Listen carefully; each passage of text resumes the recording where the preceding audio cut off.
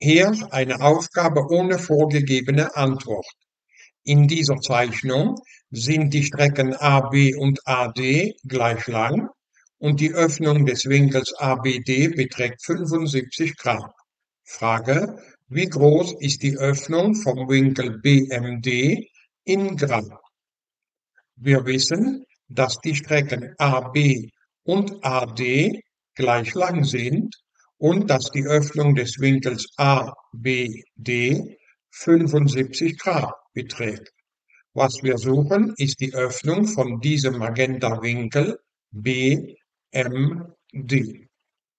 Da das Dreieck ABD ein gleichschenkliges ist, müssen diese zwei Basiswinkel gleich groß sein und deshalb misst der Winkel ADB ebenfalls 75 Grad. Und da die Summe der drei Innenwinkel eines Dreiecks 180 Grad ergibt, muss dieser Winkel BAD 30 Grad betragen. Der Winkel BAD